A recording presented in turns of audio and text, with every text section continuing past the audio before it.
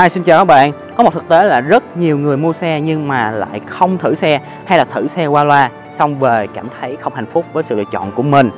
Đặc biệt là với những người mới mua xe lần đầu. Đa số mọi người mua xe là vì nó đẹp, nó nhiều option.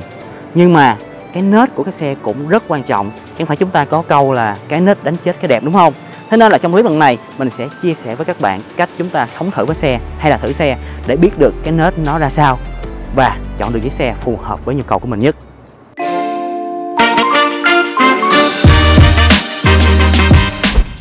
Trong clip lần này thì mình sẽ nói thẳng vào vấn đề chính, quyết định cái nết chạy của một chiếc xe đó là cảm giác lái và độ êm ái.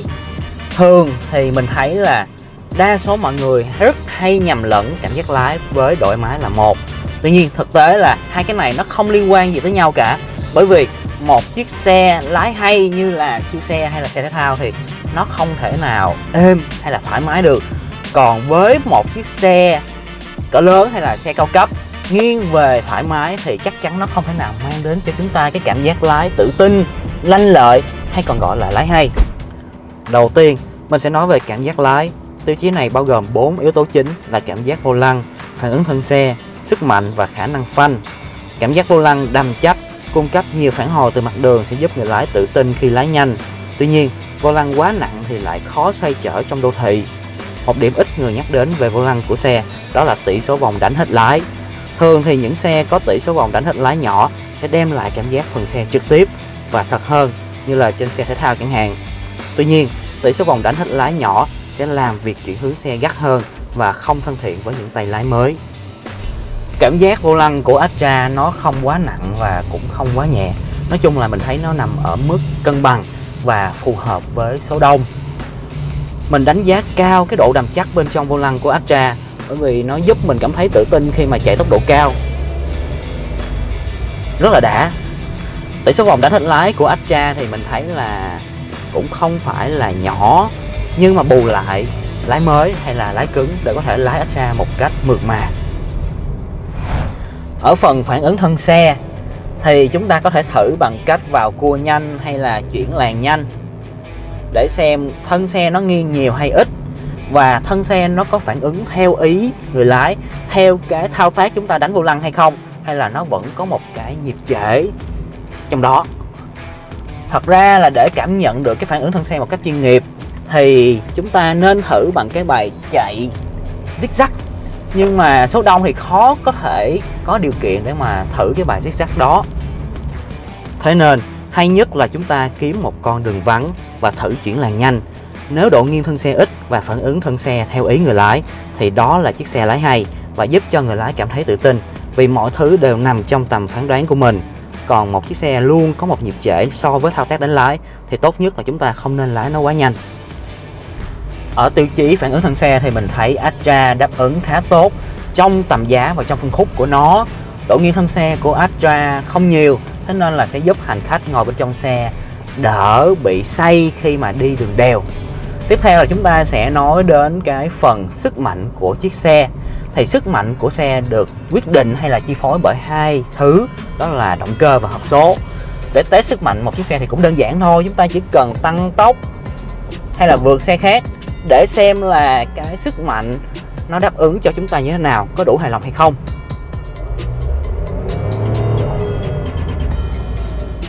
Dĩ nhiên với một chiếc xe sử dụng động cơ xăng 1,2 lít có công suất 76 mã lực nghiêng về hướng tiết kiệm như Astra thì khó có thể nói là nó bốc hay là nó mạnh được. Nhưng bù lại nó tiết kiệm và mình tin là tiêu chí tiết kiệm sẽ quan trọng hơn sức mạnh với người đi mua xe ở phân khúc Astra. Mặc dù nói vậy không có nghĩa Astra là xe yếu. Nếu soi kỹ sẽ thấy Astra có lẽ là chiếc xe nhẹ nhất trong phân khúc hạng B, phải nhẹ hơn những mẫu xe máy lớn khác từ 100 đến 200 kg, tức là tương đương 10 đến 20%. Thế nên, xét theo tỷ số công suất trọng lượng thì Astra không thuộc dạng bèo, cũng dư sức chinh phục các thể loại đường đèo tại Việt Nam. Với những xe sử dụng hộp số tự động thì nếu như phần mềm nó tinh chỉnh tốt, nó sẽ đáp ứng cho nhu cầu tốc độ của chúng ta rất là tốt, rất là đã. Để biết được cái hộp số tốt hay dở thì chúng ta nhìn vào cái đồng hồ tua của chiếc xe nếu như mà chúng ta lên số hay là xuống số đại khái là chuyển số á, mà thấy cái đồng hồ tua nó chuyển số nhanh như điện thì đó là một cái hộp số nhanh và đó là cái điều tốt. Còn trường hợp mà cái hộp số nó chuyển số chậm nó có một cái khoảng thời gian lấp lự hay là à tôi máy lên thì đó là một cái hộp số chậm. Nói chung là một cái hộp số tốt thì nó vừa phải chuyển số nhanh và nó còn phải đáp ứng cho cái sự mượt mà nữa vừa nhanh vừa mượt. Đó là hộp số rất tốt tuy nhiên, đó là với cái hộp số xe có cấp. Còn trên Astra của chúng ta thì nó sử dụng hộp số biến thiên vô cấp. Thế nên là khi mà chúng ta đạp ga thì nó vẫn sẽ có một cái độ trễ một chút. Nhưng bù lại cái cách mà nó phân bổ công suất rất là mượt, bởi vì nó không có cấp mà. Và đặc biệt là nó cực kỳ tiết kiệm cuối cùng, cảm giác phanh cũng quyết định sự tự tin khi chạy ở tốc độ cao. Hệ thống phanh tốt thì phanh cú nào là chắc cú đó. Và ở tiêu chí này thì mình thật sự rất ngạc nhiên với Astra. Bởi vì mặc dù có cấu hình phanh trước là phanh đĩa, phanh sau là phanh tan trống, nhưng mà cảm giác phanh của Astra có thể nói là rất tốt. Phanh cú nào, chắc cú đó, chứ nó không bị cái cảm giác lỏng bỏng giống như là phanh của xe hàng hay là xe Nhật thường thấy. Thật sự ấn tượng tiếp theo là đến tiêu chí êm ái ride quality. Thì mình nghĩ là cái tiêu chí êm ái này, nó thậm chí còn quan trọng hơn cả cảm giác lái với một chiếc xe hướng đến gia đình hay là để chở hành khách như Astra. Và cái tiêu chí êm ái nó gồm hai yếu tố quan trọng. Thứ nhất, đó chính là sự thoải mái của hệ thống treo. Và thứ hai, đó là khả năng cách âm. Để test tiêu chí độ êm ái thì tốt nhất chúng ta nên kiếm một cái cung đường nó hơi xấu một chút sai lầm của những người mới thử xe, đó là chỉ đi trên cung đường đẹp mà không thử trên những cung đường xấu. Bởi vì chỉ khi thử xe trên cung đường xấu thì chúng ta mới biết được hệ thống treo của chiếc xe có thật sự êm hay không và khả năng cách âm gầm của nó có tốt hay không. Đến với tiêu chí độ êm ái thì chúng ta sẽ có một khách mời khá đặc biệt, đó là anh Hùng Lâm. Đến từ xe hay, một chuyên gia đã từng trải nghiệm qua rất nhiều dòng xe trên thị trường. Và lần này để xem anh đánh giá như thế nào về độ êm ái của Astra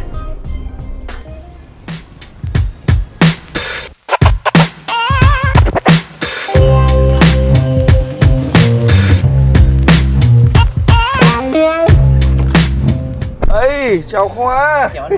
Ơi, xin chào, xin chào.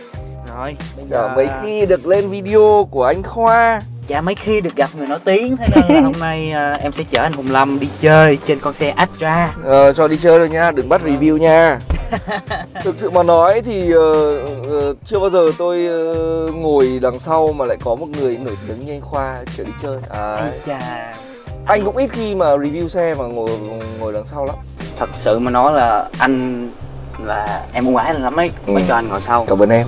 Hôm nay đừng bắt anh review, cho anh đi chơi thôi. Nhưng mà quan trọng cái điều em muốn biết đó là Ừ. anh ngồi phía sau anh có thấy thoải mái hay không? À, Lại phải review à? không chia sẻ tí tí thôi. Ok, cái xe này thì anh lạ gì? Nhưng mà anh cũng chưa ngồi đằng sau nhiều thật. Nếu mà mới ngồi như thế này thì để xem nào?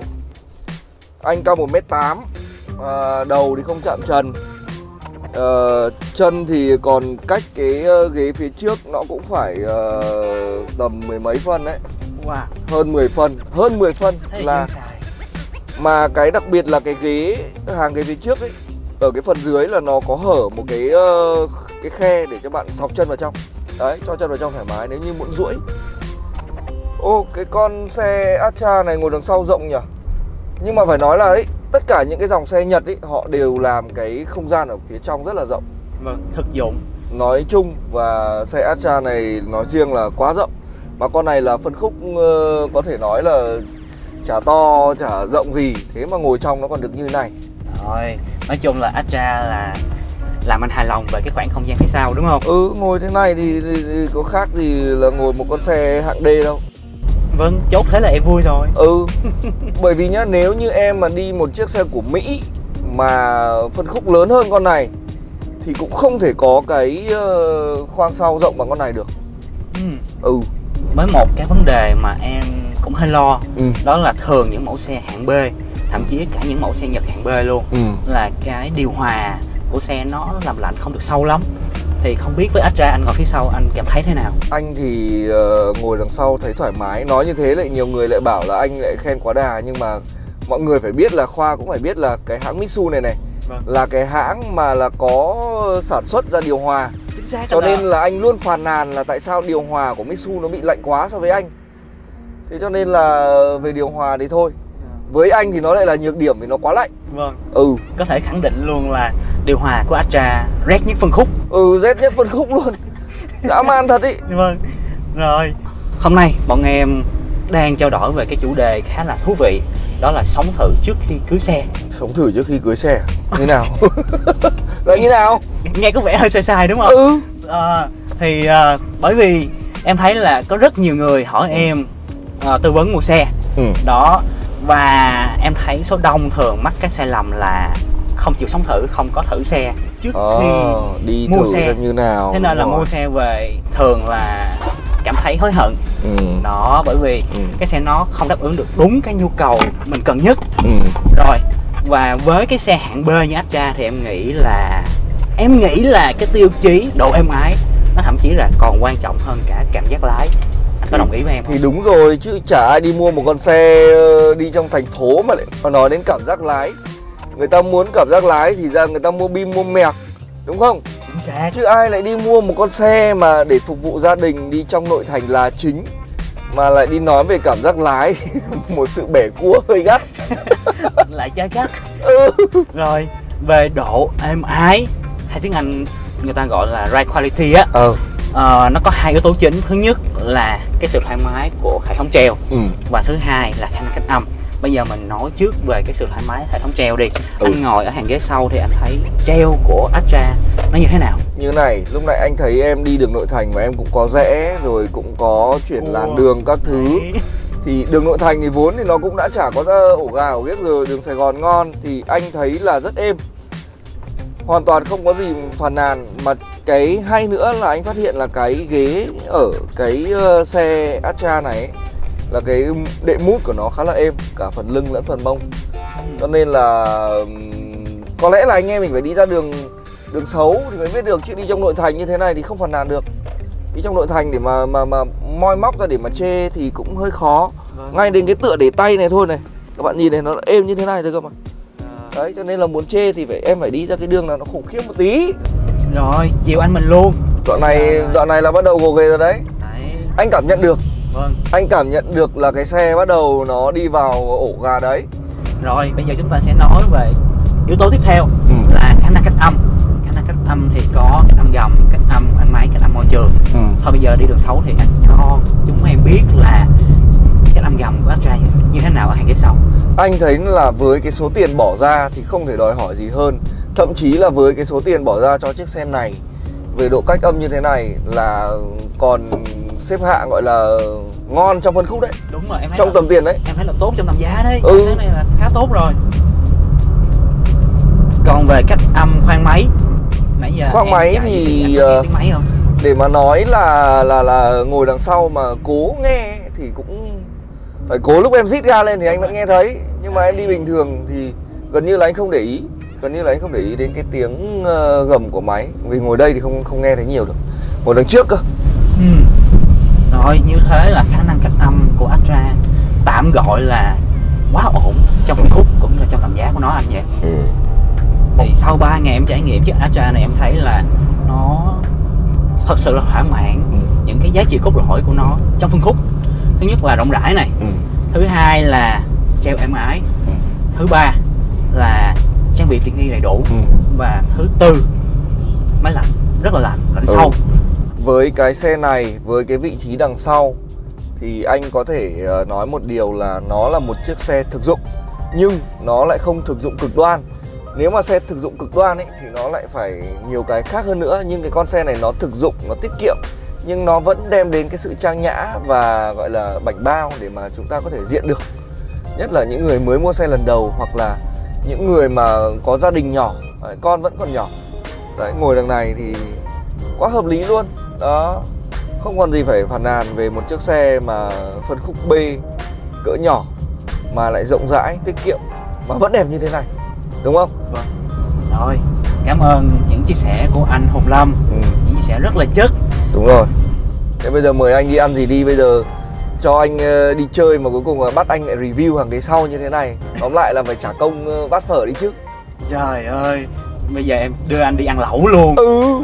Ừ. ngon. Ok cảm ơn khoa vì hôm nay đã đến đón anh đi chơi nha. Rồi tuyệt vời. Đi ăn lẩu